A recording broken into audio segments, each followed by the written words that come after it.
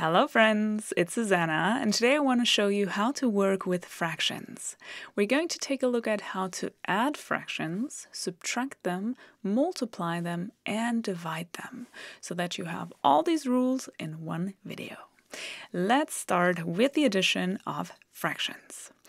We are only allowed to add fractions if the denominators are the same. This is not yet the case here in this example, so then our first step is to find a common denominator, so to make the denominators the same. So we're looking for a number that is divisible by 7 and by 3. You always find such a number if you just multiply these two numbers, so 7 times 3 equals 21 and that is a possible common denominator then because the 21 is divisible by 7 and it's divisible by 3. Okay, so we changed the denominators, but we're not allowed to just change our fraction. We have to do exactly the same then in the numerator. So what did we do with our first fraction? How did we get from the 7 to the 21? We multiplied the 7 by 3, right? So we have to do the same with the numerator. We have to multiply this number by 3 then as well. 4 times 3 gives us 12. Okay, first fraction done. Second fraction, the same thing. We changed the denominator by multiplying the 3 by 7 so that we get the 21. And we have to do the same with the numerator, so we also have to multiply it by 7. 1 times 7 gives us 7. So that we renamed our fractions now. And now we are allowed to add these fractions because the denominators now are the same. Okay, how do we do this then? We take the common denominator, the 21 here as our denominator, and then we just add the numerators. So 12 plus 7 is what is written here in our new numerator.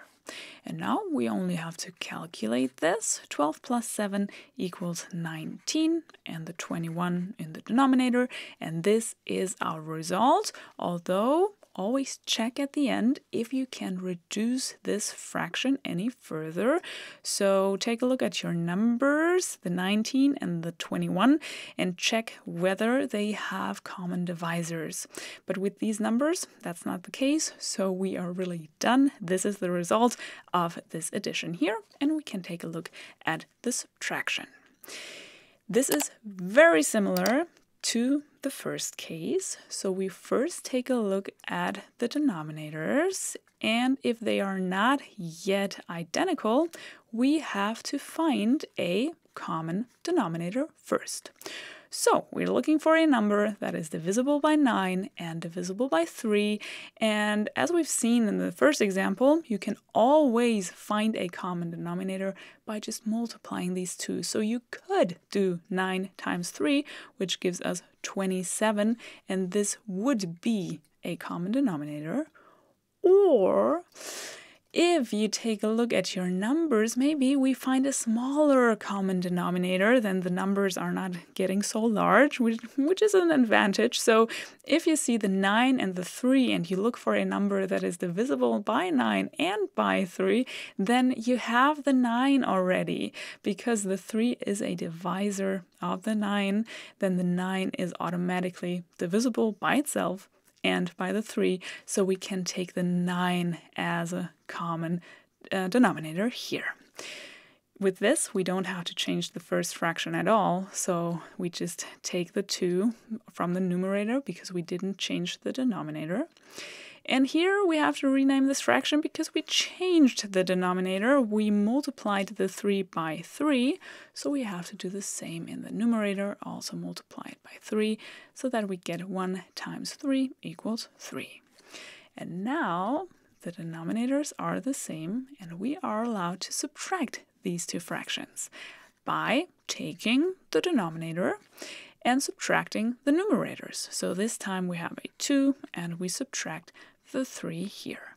And now we only have to calculate this. 2 minus 3 equals negative 1 and the 9 in the denominator.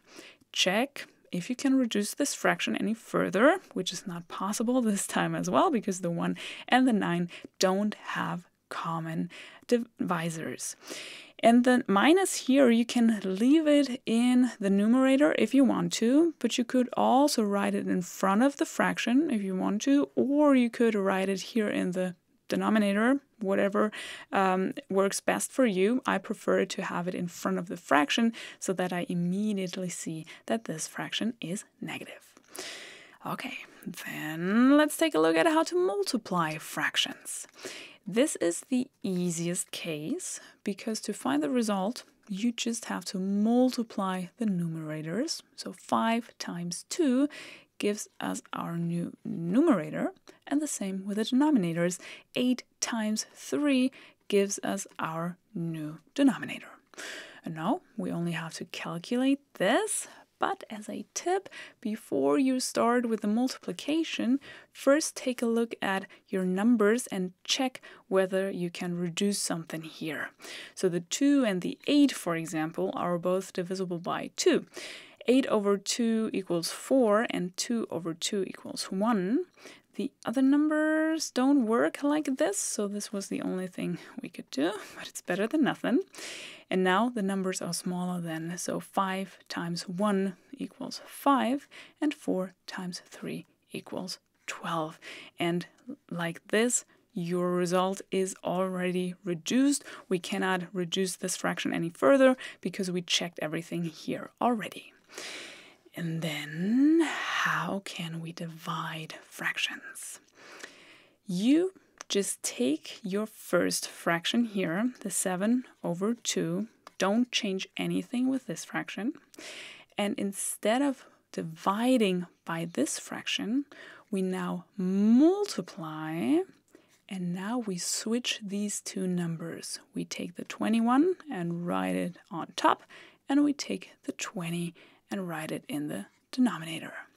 This is the reciprocal of this fraction here. So you always find the reciprocal of a fraction by switching the numbers. And yeah, so instead of dividing by this fraction, we multiply by the reciprocal. And we now know how to multiply two fractions. We just seen it. We multiply the numerators. So we have 6 times 21 and then the same with the denominators, 7 times 20. And before we multiply here, we check if we can reduce something. And the 21 and the 7, for example, are both divisible by 7. So 21 over 7 equals 3, and 7 over 7 equals 1. And the same with the 6 and the 20, they are both divisible by 2. 6 over 2 equals 3, 20 over 2 equals 10. Then nothing else works here. So now we multiply. 3 times 3 equals 9, and 1 times 10 equals 10. And this is our result. I hope it helped you. If you have any questions, just let me know in the comments. Please like this video, and we see each other in one of my next videos. Take care!